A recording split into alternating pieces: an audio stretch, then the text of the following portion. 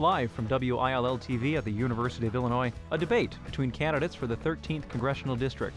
Brought to you by Illinois Public Media, WCIA 3, WCIX 49, the News Gazette, the League of Women Voters, and the NAACP of Champaign County.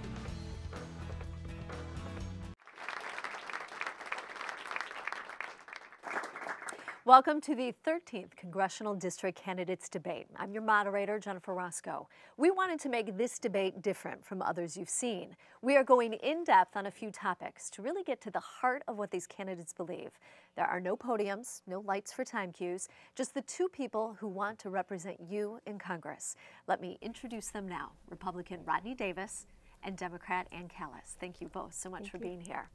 Asking the questions for tonight's debate, Tom Kacich from the News Gazette and Hannah Meisel from WILL. My role is asking for clarification when needed, making sure things keep moving for all of you and for our studio audience. During the, the debate, we're also going to take questions for the candidates from our viewers and listeners on Twitter and Facebook.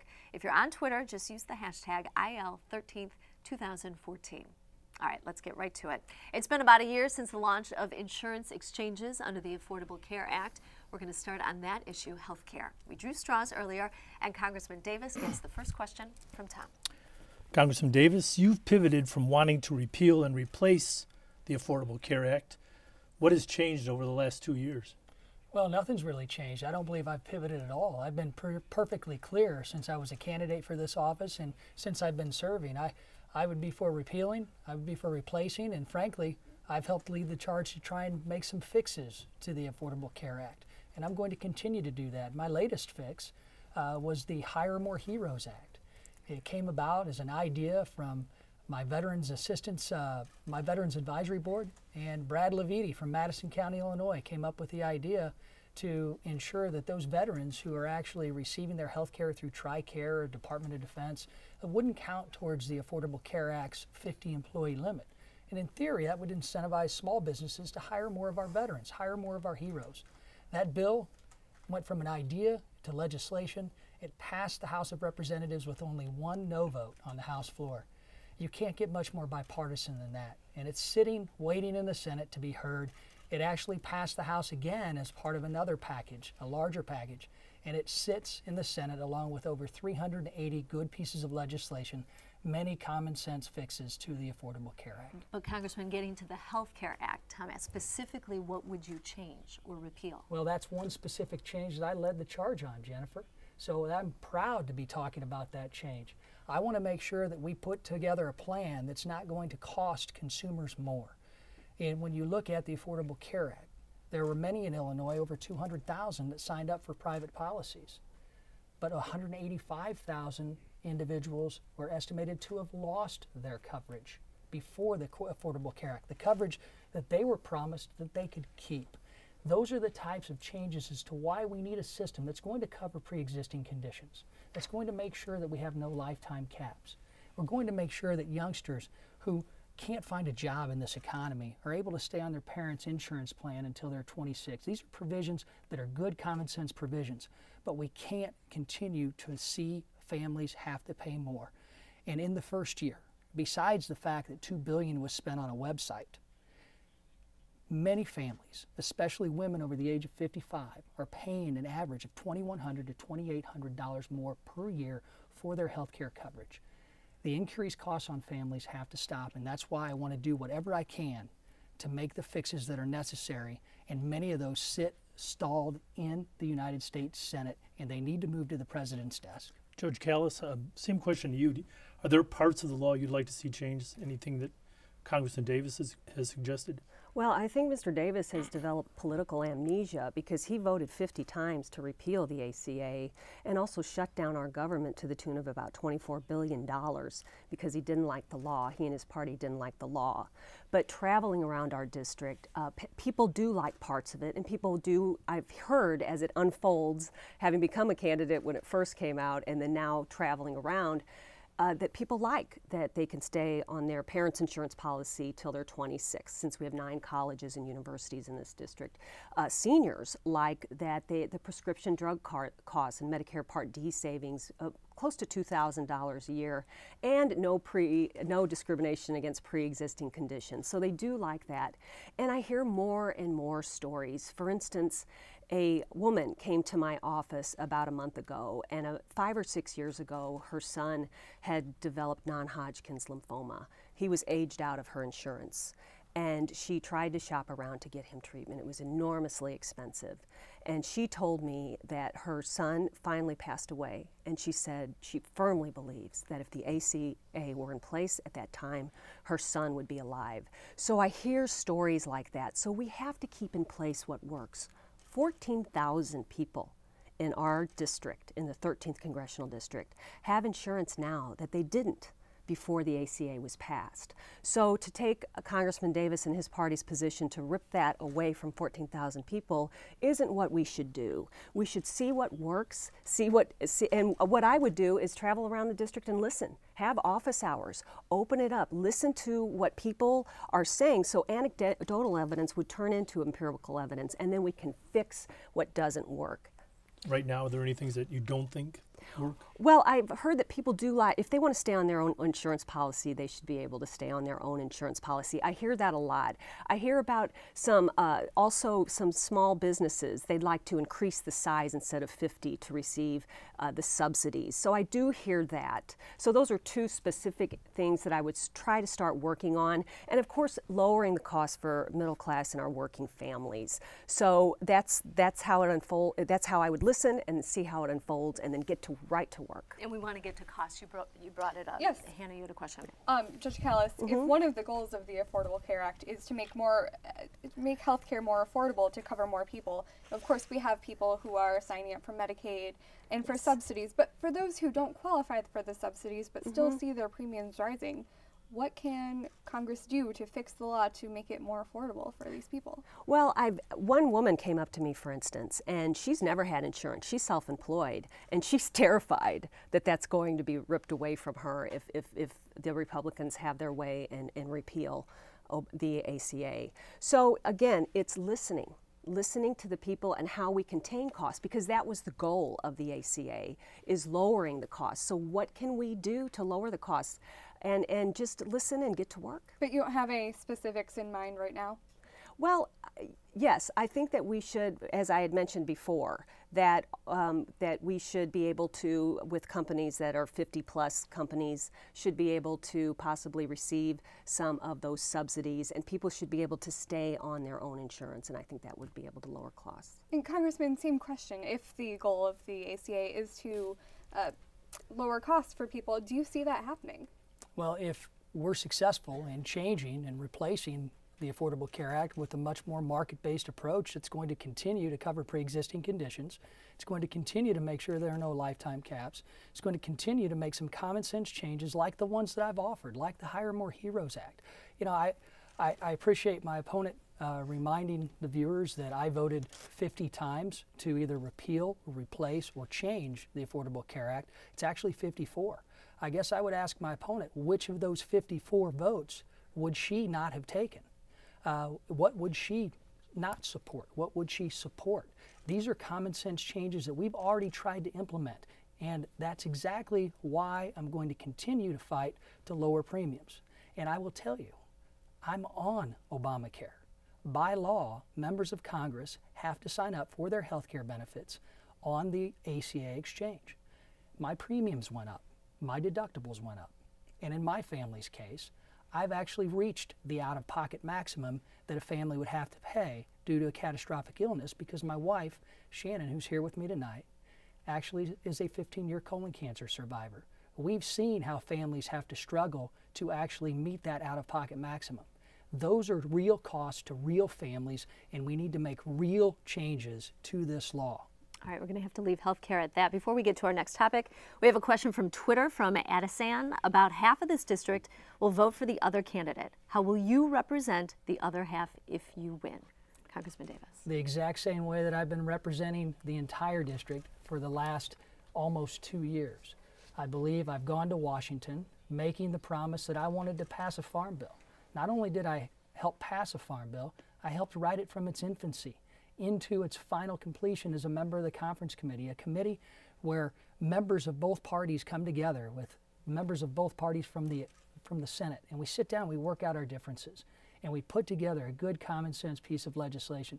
And that's exactly what that farm bill did. We set good farm policy to make sure that agriculture remains a pillar of a growing economy. And we also saved taxpayers $23 billion.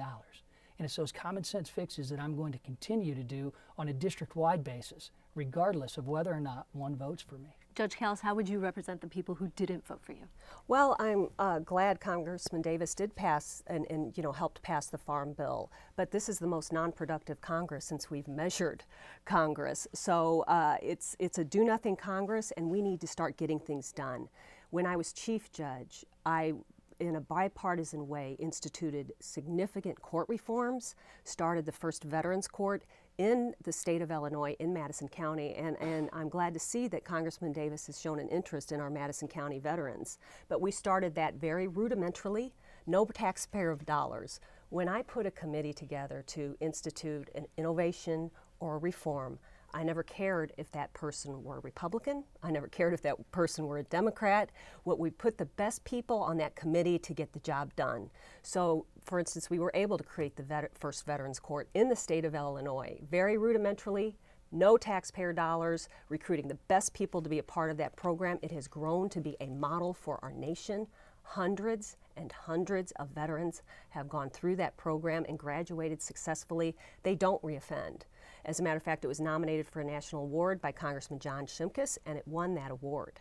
Also, I had two, uh, a few months ago, I was at an event, and I had two Vietnam era veterans come up to me separately, and they told me the Madison County Veterans Court saved their lives. That it was the first time they felt like someone cared about what they were going through. So I think I have a record of reaching across the aisle and getting things done, and that's exactly what I would do I always had an open door policy as chief judge, listening and then acting. All right, next topic. This is a big one jobs and economy. Hannah has the first question for Judge Callis. There is a push to increase the federal minimum wage to $10.10 an hour. But the Congressional Budget Office sa- says that a hike could lift 900,000 people out of poverty, but it also suggests that half a million could lose their jobs. Mm-hmm. And of course, some small business owners say that they can't afford it and they would have to either lay off people or push the price on to consumers by raising prices. Mm-hmm. So, Judge Callis, do you support an increase in the federal minimum wage to 1010? Absolutely. Absolutely. I have traveled around this district, gone to many, many community centers. People are choosing between food and diapers. People are going to school full time and trying to better themselves, and they keep falling further and further behind beneath the poverty line. So it's time that we raise the minimum wage in this nation. Six out of the 10 minimum wage earners in the state of Illinois are women many of them heads of households. So, absolutely. And then when we raise the minimum wage, these people then are uh, moving into commerce and spending money and, and, reinvigorating our communities. So, it's time we raise the minimum wage. Is there anything that you would want to implement to offset the cost to businesses who might struggle to? Uh, raise that wage for their workers? I just think it's time we raise the minimum wage. Now, again, I, as, as chief judge, I listened, had an open door policy. So if I would, of course, listen and see what was going on and see if actually uh, businesses were, costs were raised. But fundamentally, fundamentally, it's time we raise the minimum wage. It's time. I hear it from so many people in the community centers traveling around our, our district, and it's just time. And Congressman, same question to you. Do you support raising the federal minimum wage to 1010? I've been clear. I would support an increase in the minimum wage as long as it was paired with some offsets, some tax credits, similar to a bill I introduced with my friend Dan Lipinski, a Chicago Democrat, to allow for tax credits for businesses to hire young apprentices in the trades and labor uh, section of our economy. And we need to grow infrastructure jobs. I, I've said all along, we need to offset these costs because, as the Congressional Budget Office estimates, and that's not necessarily the most partisan organization, it estimates that if the minimum wage was increased to 1010 without any offsets, 500,000 families would lose that minimum wage job. I don't want any family to lose their job. We need to continue to work together to find the solutions to grow our economy. Illinois is lagging behind the rest of the nation. As a matter of fact, Illinois over the first over the, the first seven months of, of this year has been last in job creation because we have a dysfunctional government in Springfield. We need to make sure that we work toward creating real jobs. And I'm happy to be joined by my dad here tonight. My dad walked into a restaurant, a brand new restaurant in 1959 called McDonald's. And he started working what was then a minimum wage job. Started flipping hamburgers and shucking french fries and had no intention of ever staying there. My dad worked his way up, and because he did that, he allowed my family to achieve the American dream. And no young person should ever listen to a policymaker who says that you should turn your minimum wage job into your career now. Because your career should be the American dream, not keeping the job that is paying you minimum wage right now. And I go to colleges, talk to many students, and I ask them to raise their hands if they're on minimum wage, and many do. I say, How many of you want to stay in that job and make it a career? Not one single hand is raised. And speaking of colleges, it's going to cost our universities and colleges in this state millions to implement any minimum wage increase in a time where the state is not fully funding higher education. It's a time where students will have to be laid off from a job when they are working so hard to help pay for their ever increasing cost of college education. Judge Callis, the Congressional Budget Office, the same CBO we were talking about earlier, reported that the lowest earners in the middle class have lost ground over the past three decades, while the income of the highest earners has grown sometimes by three digits. Mm-hmm. Is it the government's role to address income inequality? And if so, how would you do that? Well, I think we one way to address income inequality is raising the minimum wage. And um, I don't I don't know who Mr. Davis is talking to with these students that, that, that say that that's their career to have a minimum wage job just because the minimum wage is raised. It will raise them up to be able to afford to uh, attend the college and be able not to fall further and further behind in the poverty line. So I don't understand that. And, and it's, I heard him you know, point his finger at dysfunctional government in Springfield, but how about the dysfunctional government in Washington, D.C. today? So I think that that's one way that we can um, hand, address income inequality. Also, it's time that we pass the Paycheck Fairness Act. I talked to many, many women uh, around this district. And the fact that in Illinois it's 70 plus cents on the dollar that, that women make, not commensurate with men. So it's time we do that. Also, I think that we could, uh, even Warren Buffett had said, it's unfair that we pay, that he pays a lesser tax rate than his secretary pays. So there can be some reform in the tax code, especially closing some of these loopholes for corporations. For instance, uh, the corporate uh, corporate jet tax uh, loophole where it's $4 billion that $4 billion that could come back into our nation's economy if we close that loophole. Congressman Davis, how about you? Well, I, I will tell you, when we look at uh, the minimum wage and the students that I talk to, um, make, let me make myself perfectly clear. Many of them work at the universities to pay their way through college. And when the university tells us that they're going to have to lay off students, that is not a net positive if they can't have an offset to that minimum wage increase. We want the students to be able to continue to work through their education. We need to also look at equal pay. And I will tell you the best thing you can do to find out on a, on a, on a government official or a politician as to how they view equal pay is to look at what they can control. And if you look at my office, I pay the women in my office an average of $4,000 more per year, while my opponent when she was in charge of the Madison County court system, had actually, there was unequal pay of anywhere from 8 to 15 percent per year from the male to the female employees. How about the question about income inequality, though? Should the tax code be changed? Yes. Oh, absolutely. We've got to grow our economy to grow jobs. The income inequality under this administration in Washington has grown to levels we haven't seen in decades. We need to do everything we can to create good paying careers. And that's exactly what I've tried to do throughout my, my short time in Washington. That's why I helped write and work through the entire process and and make sure that it was passed into law as a member of the conference committee for WRRDA, the Water Infrastructure Bill. Water infrastructure is, is enormously important to our entire district's economy. Most of the, most of the uh, products that go up and down the Mississippi River are coal and grain. That screams the 13th District of Illinois. We need to upgrade our locks and dams. We need to put our trades and labor folks back to work, and that's the first step in doing so. So much of this is you've been talking about university students. We actually got tweets from two of them. At Vishal Diswar says, "I'm a student at UIUC and an undocumented immigrant. Immigrant. How do you plan on supporting students like me?" And then another said, "What are your thoughts on comprehensive immigration reform that might help me? I'm an international student at UIUC. My future after graduation is uncertain, even if I get a job." Judge Callis, how would you help these students? Well, first I want to address what, what went on in my office with the Chief Judge's Office at Income Inequality. Um, Madison County was unionized by AFSCME, and I'm honored to have their support. And we would do co contractual negotiations set by AFSCME, so I don't know where he's coming from with that at all. Um, also, it is time it is time we pass comprehensive immigration reform. I have traveled around this district, students have uh, addressed that, but also looking at going through and, and uh, touring Research Park and talking to the executives at Yahoo there. Their number one, their number one issue was comprehensive immigration reform. So it's time that uh, Mr. Davis asks Speaker Boehner, who came down to raise money for him, hey, let's take up this bill and pass comprehensive immigration reform.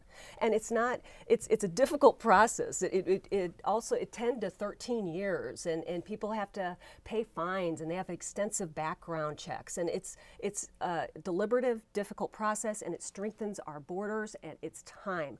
Also, if we pass comprehensive immigration reform, the GDP would be increased in the next nine years 3.3%, adding, I think it's uh, 1.4 billion dollars into our nation's or 1.4 trillion dollars into our nation's economy within the next 9 years. GDP after that would go up 5% so it's really time and I think it'd be about 1.4 trillion dollars added into our economy so it's time.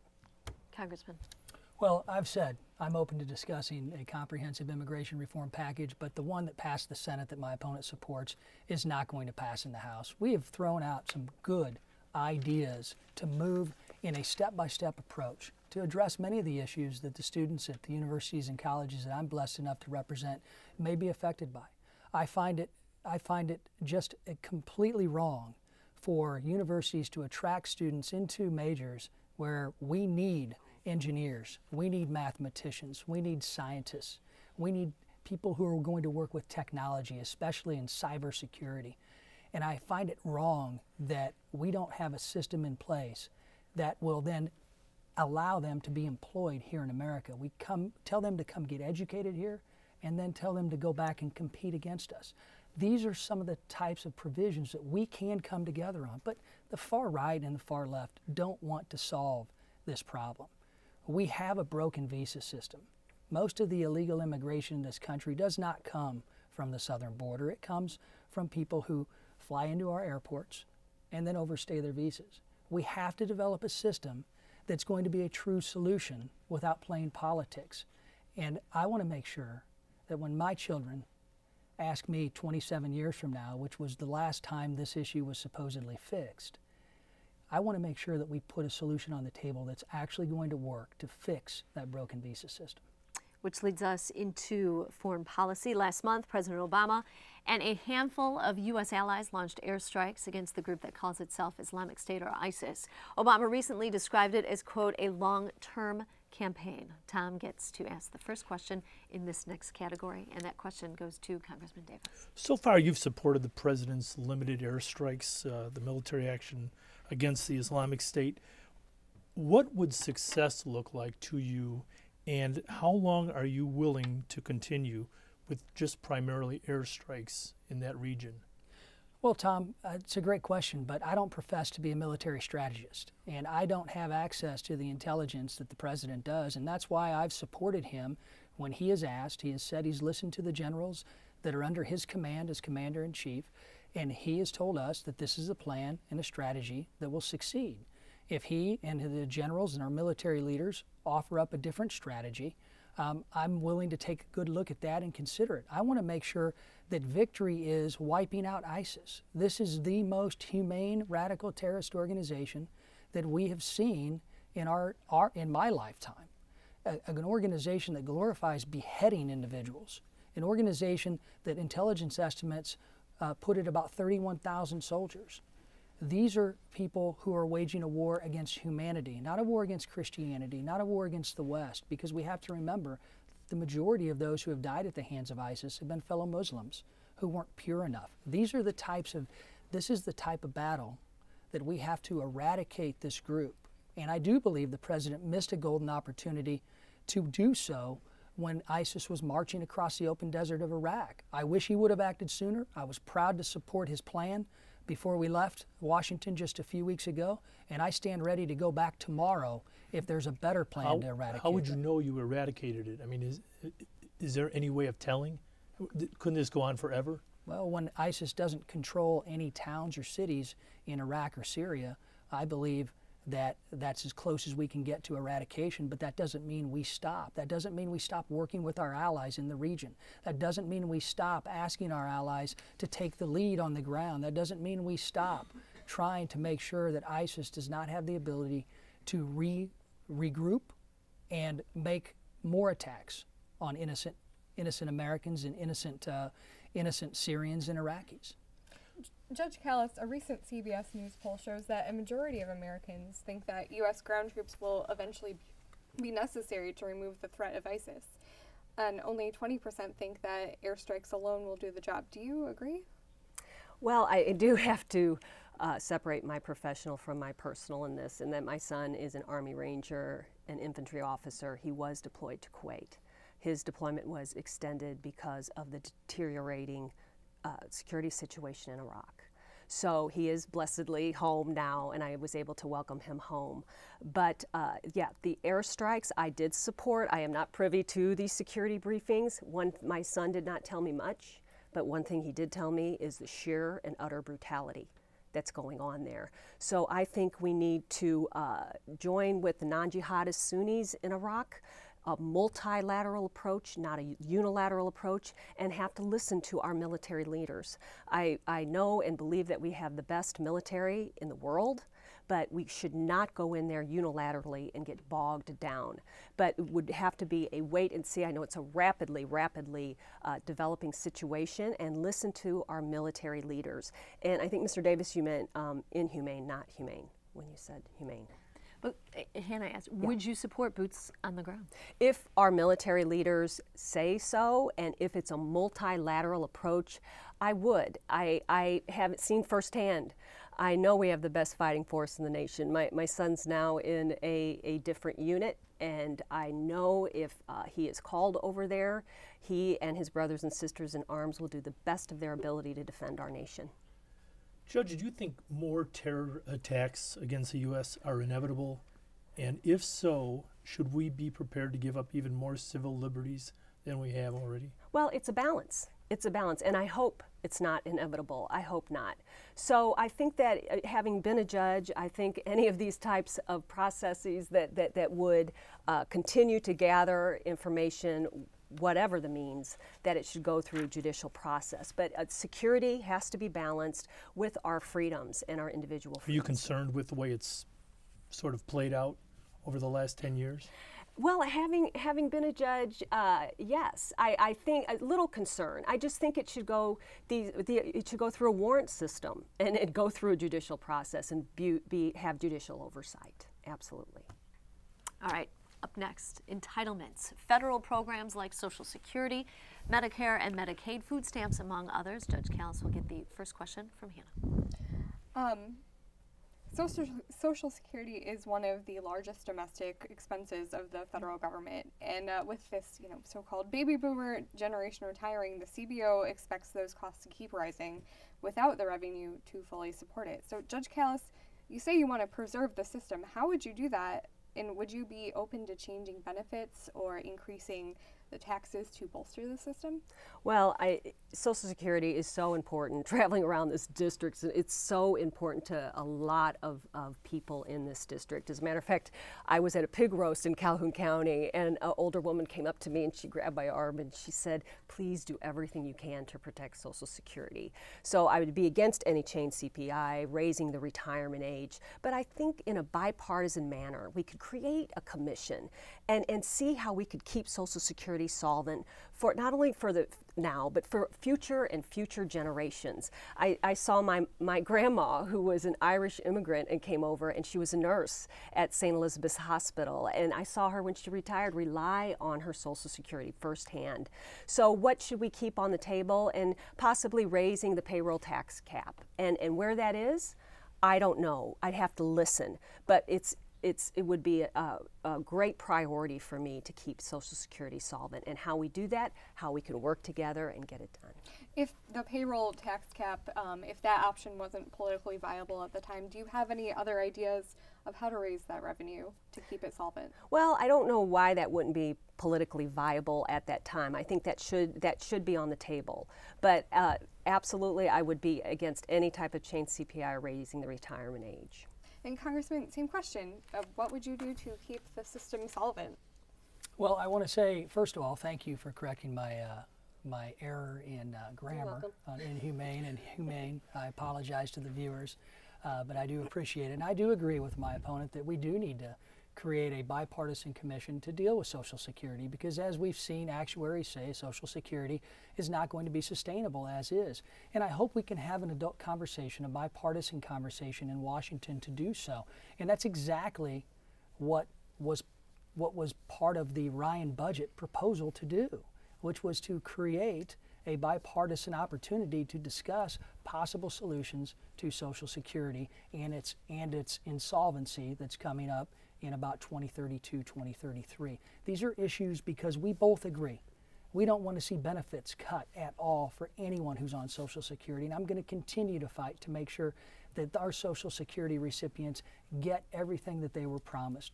We need to make sure that we have Social Security not just for this generation, but for future generations. And Tom, I notice I didn't get back, I didn't get asked your question.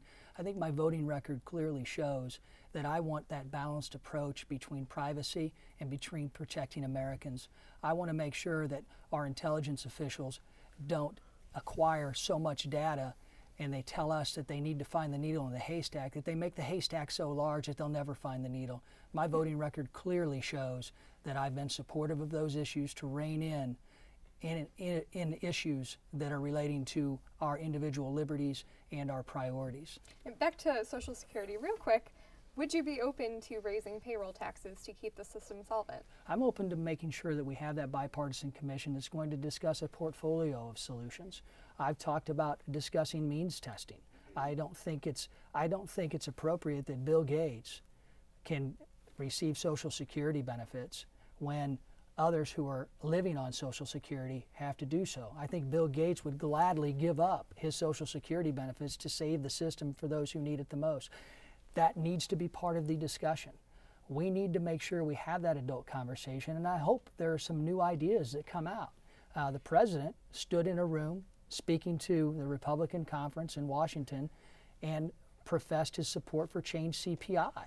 Uh, many in the room were surprised by that. So I think the president's going to want to discuss chained CPI, and I don't know if that's a proposal that would become reality or not. So you both have brought up bipartisanship, but what would be when you're in that room? This is for both of you. What would be your non-negotiable? That with this, what is your top priority? That those who are who are 55, 56 and above that are receiving benefits right now see no benefit cuts whatsoever. And what's your non-negotiable? Is for Social Security? Correct. All right. Uh, chained CPI, absolutely against that and raising the age, eligibility age, retirement. You mentioned the Paul Ryan budget, um, mm-hmm. it, which you voted for, which would balance federal budget in 10 years, but you said it was an imperfect plan. Mm-hmm. Are there parts, are there a lot of parts you'd like to revise or undo or there's, eliminate? Yeah, Tom, there's, there's no perfect bill that comes out of Washington. Uh, and what we need to do is make sure that we judge the quality pieces of that legislation versus those that you may not be as as, uh, as favorable on. And, and in this case, you know, there, we have to, as Americans, we have to look at balancing our budget.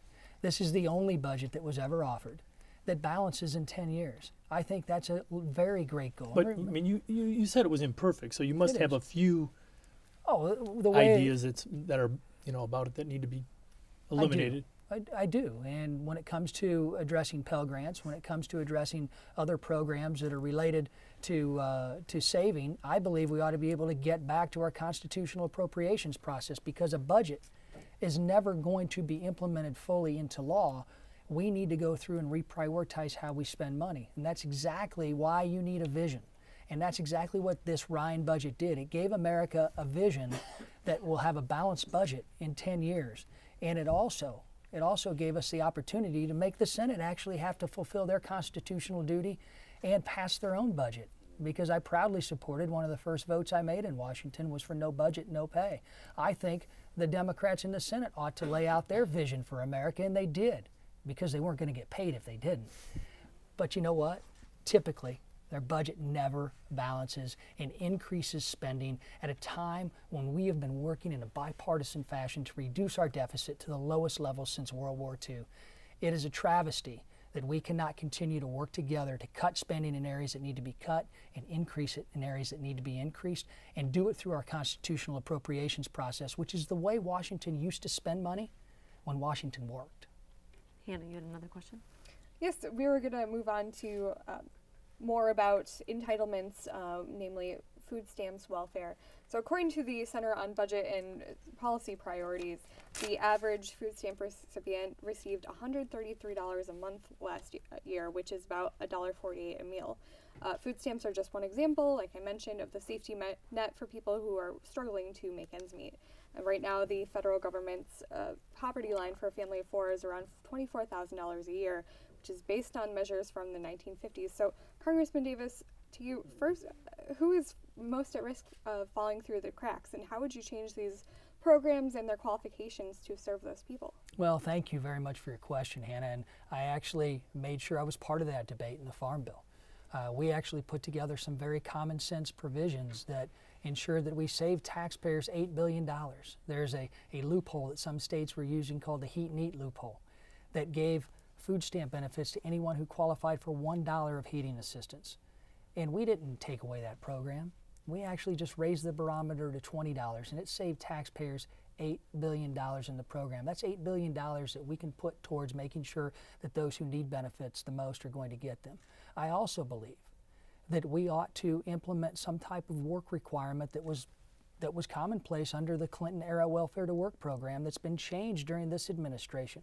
And I, for the life of me, cannot understand why America should be satisfied with a program that doesn't require an able bodied adult who has no dependent children, who is not enrolled in a, in a, training or education program, who doesn't take care of an adult dependent, who doesn't meet a plethora of other exemptions. I don't know why we can't pair them with a job, and if a job is not available, why can't we pair them with community service or volunteer service opportunities where they can learn skills that will get them the best benefit that their family can have? as a job. Judge Callis, we want you to chime in on this. Uh, yeah, I, you know, talking to people in these community centers, um, I, I think it is um, not the right approach to demand someone that they have to have a job when you don't know what that person is going through in their own lives with whatever uh, domestic abuse, drug and alcohol abuse. So I think it is a uh, presumptuous uh, way to govern. And if you listen to to Mr. Davis they were burning the midnight night oil. They were passing bill after bill after bill. I mean, this is the most non-productive Congress that we've had since the history of Congress. So I think it's a, a holistic approach, and we need to, first of all, we shouldn't have let, as as uh, Congressman Davis Davis's Congress did when the long-term unemployment benefits were extended by the Senate. They died in the House because everybody went on vacation there. 185,000 veterans. 185,000 veterans were left out in the cold because they didn't have the long term unemployment benefits.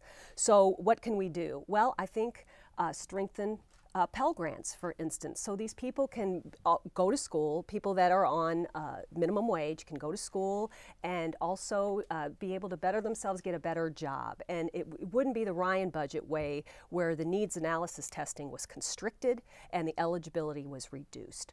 Also, um, what I was able to do as chief judge, and I think this is this is a philosophy that I would have as a congressperson, and that is you're on the ground and you're listening what can you do at these community centers? When I've gone there, people have there there are things that are going on with the urban league, like man camp, when people come out of prison or probation, to to learn teach them and how can they go, get into the employment universe. So I really, having been a statewide leader on justice and mental health and restorative justice issues, not only Veterans Court, but a true believer in drug court and mental health court, where people can become productive citizens by going through these programs. I could see where I could travel around our district to uh, each county and, and see what they have going and see what they don't, and really being a bridge to the justice system, which I think would fill a true gap to help the people in this district. We've got another question from Twitter. This is from at Perry Ag Ed. What will you do to help improve new fuel energies in Illinois and the U.S. Judge Callis. Well, um, I was pleased to see that Illinois is number one in renewable energy sources. And we have great opportunities here with our nine colleges and universities, especially here at University of Illinois with the wonderful innovators here. So what can we do to expand on this and grow great jobs right here? Draw out our innovators, join them with our local businesses. So our students graduate from this wonderful university and want to raise their children in these wonderful world-class communities. So how we can advance them forward. And I, I saw that that uh, Decatur had a chance to get the genotype lab and that was lost to Fargo, North Dakota. So how can we do that to, to sustain ourselves, but also draw in businesses? What can we do? So I, I would just continue to work, build coalitions, get things done. Congressman Davis, new fuel. Uh, well, energies. I appreciate Ann's comments, and that's exactly what I've been trying to do is build coalitions to ensure that we actually make our next mission to the moon to make America energy independent. When you look at energy independence, we have the ability to grow our economy by doing something as simple as, as building the Keystone Pipeline. The President and his administration has overstudied this permit more so than any other project in our nation's history. And even members of organized labor estimate it would create 40,000 new jobs. That oil is coming from Canada via train and via truck now. Let's put it in a safe pipeline. Let's make sure that we can create American jobs. And that's exactly the first step in becoming energy independent. And that's how we actually use all of our energy sources, especially those that are homegrown right here in Illinois.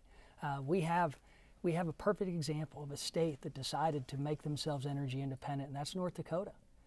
In North Dakota's minimum wage, it's not set by government right now. It's the marketplace is about $18 an hour because they made the decision to make North Dakota energy independent and they're reaping the benefits of a very low unemployment rate. They're reaping the benefits of an economy that's growing exponentially. And we're sitting here in Illinois with the worst job growth in the first seven months of this year. It's unacceptable and things need to change. And I hope to continue to lead that charge from Washington, D.C. All right, next topic, moving to education. The 13th Congressional District includes the University of Illinois' main campus, U of I Springfield, Millikin, Parkland College, Lincoln Land, and a number of other colleges and universities. Recent estimates show tuition continues to get more expensive while total student loan debt has grown to more than a billion dollars for the very first time. Education is next. Hannah will get things started with a question to Congressman Davis. Congressman, two years ago in a debate in this studio, you said that you would increase access to Pell Grants and added that you would have not supported the Ryan budget that would have slashed funding to Pell Grants. Then, in the end, you did support a Ryan budget that freezes Pell funding over the next decade, thus cutting about $90 billion over the next 10 years. What changed? Nothing changed. And frankly, that was a Ryan budget that was done before I was elected. Just because Paul Ryan's the chairman of the budget committee, each budget that gets put out is takes his name. That was a much different budget than the one that I supported that balances in 10 years.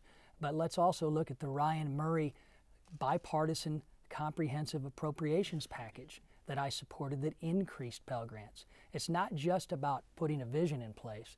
And when you talk about cuts, only in Washington, D.C., can zero growth in a vision document be considered a cut?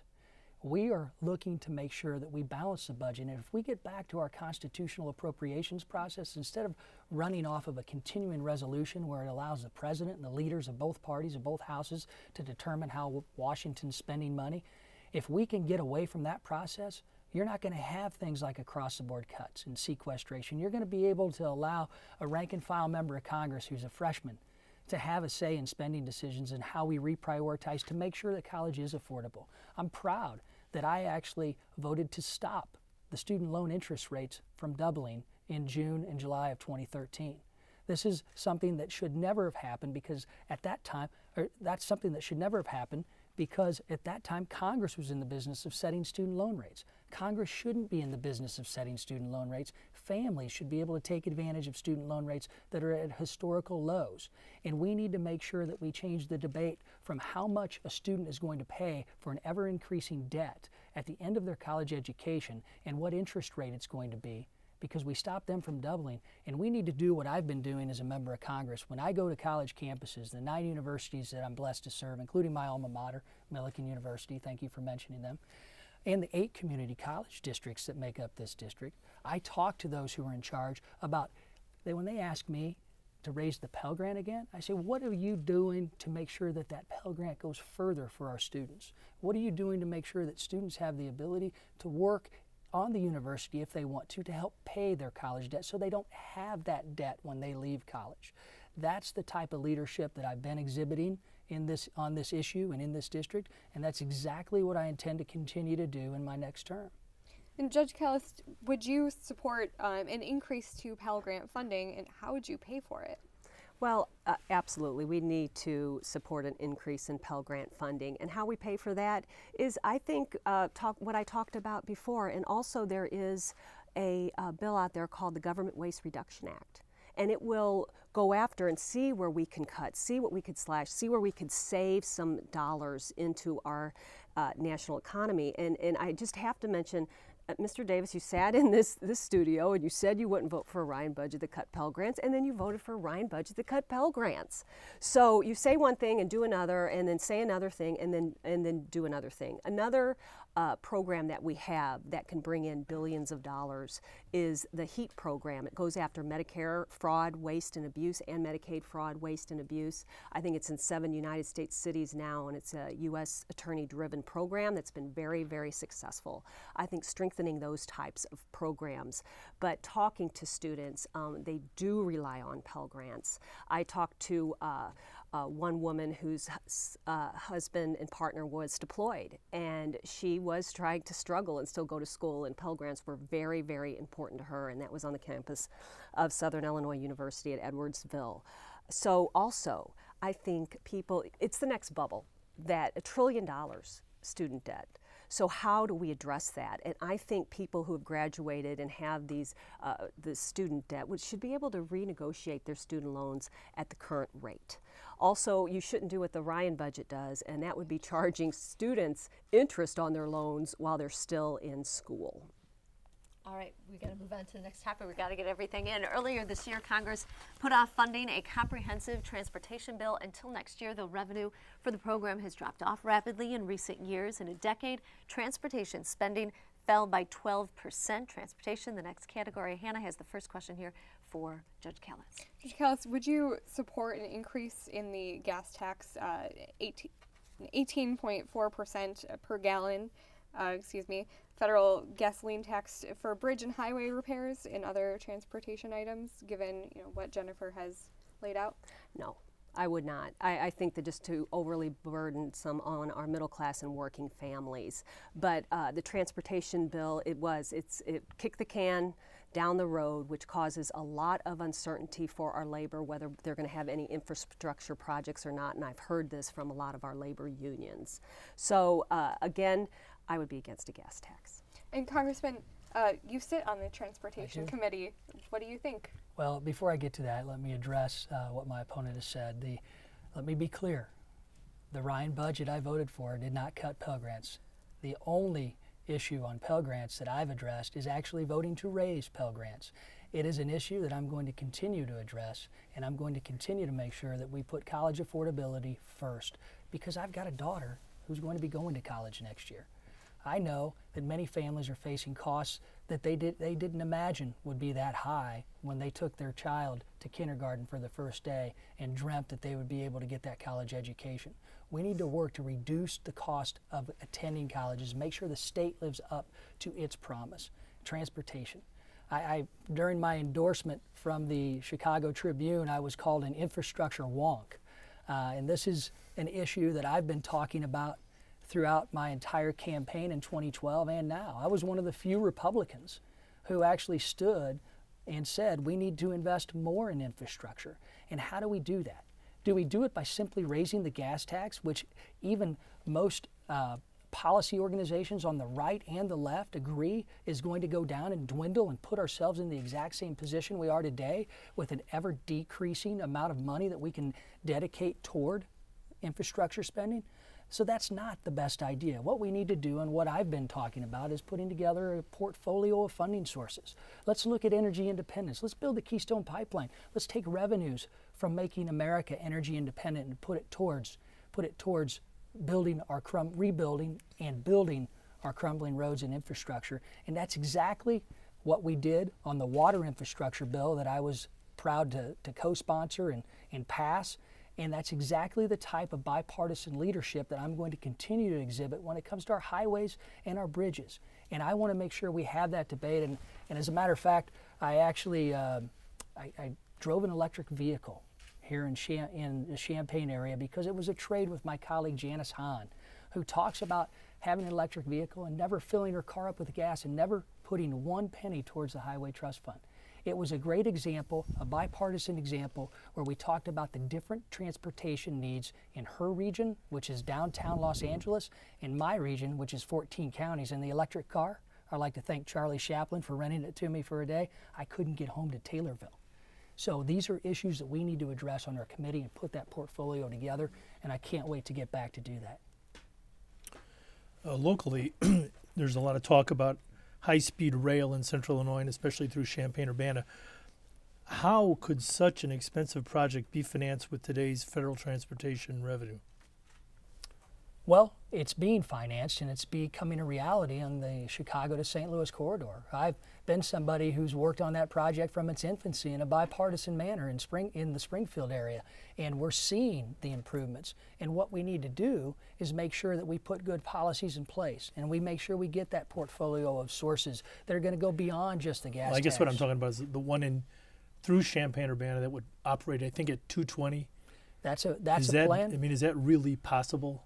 The, the cost of that? I don't like to say anything's impossible when it comes to infrastructure, Tom. We just have to make sure that we put our good policies in place and mechanisms to make sure that America is able to afford that infrastructure so that so that Champaign can be the beneficiary of a high-speed rail corridor that's going through Champaign. I'm proud to work with Laura Weis and, and Mayor Gerard and all of the officials who have come to me and talked to me about this project. And we're going to continue to make sure that we put infrastructure first. And that's exactly why I requested that seat on the Transportation and Infrastructure Committee. And that's exactly why I want to go back to, to remain on that committee. Judge Callis, do you think that's a doable project? Well, I wouldn't. I wouldn't absolutely say no. What I my role as your congresswoman, if I'm honored to be elected, is what kind of infrastructure projects are feasible and reasonable, and what can we do to improve our communities here. And um, Mr. Davis said he was in leadership in uh, leadership on transportation in D.C. Then why wasn't a comprehensive transportation bill passed? Why was the can kicked down the road? And I'm sure it's fun driving around in an electric car, but I don't know that how that helps the people of this district. We need to get back to serving the people that we were honored to be elected by instead of serving ourselves. So it's an entire philosophy change that needs to be done here. We're just getting down to the last couple of minutes. Tom, you had a question you wanted to ask about military gear to local police departments. Yeah, Judge Callis, one of the big issues around here that yeah. has risen out of the events in Ferguson, Missouri, Absolutely. was the militarization of local police. Mm-hmm. Uh, we've reported that a federal program sold dozens of assault rifles and night vision gear, a helicopter, and MRAP to area police departments. I know it's happening in Springfield and here. Uh, is that something the federal government should do? Well, it probably sounded like a good idea in the beginning because it, it, was excess military gear. But uh, seeing the visual on TV, what happened in Ferguson with these tanks and these police officers dressed in absolute military gear and on with assault weapons with demonstrators on the other side shouldn't happen. So there should be some transparency and oversight. And, and I can tell you, my son is an expert on M4 assault weapons. That takes a lot of training.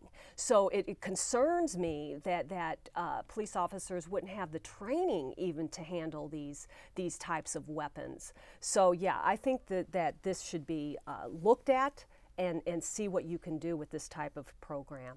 Congressman? Well, I think some of our police officers, unlike my opponent, are actually the most well trained uh, individuals we have. But I too am concerned about MRAPs. I too am concerned about the visual that we saw in Ferguson, Missouri.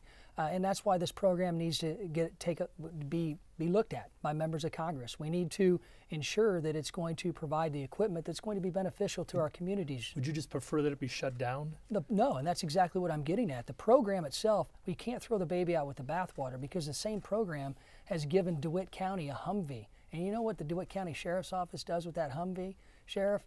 Uh, sends deputies out when it's it's snowing and it's icy and he pulls stranded motorists out of the ditch. These are good things that are being done by excess military equipment, and we have to be very diligent in making sure that we don't get rid of those opportunities. We have to make sure that we address the visuals that we saw in Ferguson with the MRAP, but we also have to make sure that those driving through DeWitt County get an opportunity to, to get served by Sheriff Schaffner too. Uh, quickly, you had a question about climate change. Yes, very quickly. Do you believe, the first question goes to you, Congressman, do you believe that climate change is real and that it's man made? And what could the federal government do to reduce the effects of climate change? Well, I've been clear. I've said uh, climate change is real. Uh, we can discuss how much of it is natural and how much of it is man made. And what we have to do is continue to do what America has done lead the world in emissions reductions, but, but at the same time, not sacrificing growth and jobs in our economy. Judge Callis climate change absolutely exists. I mean, man-made climate change exists, and all we have to do is look out our window in some days and, and absolutely have firsthand knowledge that it exists. So yes, I think that emissions restrictions should be in place, but not at the expense of jobs. So I think there can, it's not a black or white issue, but it's a fine balance. But we continue, and I think we have such a great opportunity here, again, with our nine colleges and universities, to really go to alternative uh, to, to, explore the alternative uh, energy and renewable energy sources and really be a leader in our nation in our nation in this district with renewable energy sources. Okay, really quick because we only have one more minute, but I have to ask this was on Facebook. If you had a song that played while you walked in, what would it be? What would your theme song be? We got to wrap on a I have one. note. All right. All yes. right, Katy Perry's Roar. Okay. Do you have one, Congressman Davis? What's your theme song? Um, let's say uh, Creed higher. Okay. we like that. All right. Well, that. now we're all going to contemplate that. that. There you go. We're out of time for tonight's debate. Thank you to the candidates for Congress in Illinois' 13th District, Ann Callis and Rodney Davis. Our thanks also to the candidates' campaign organizations, our panel of reporters, and our audience, both here in the studio and following on TV, radio, and online. I'm Jennifer Roscoe.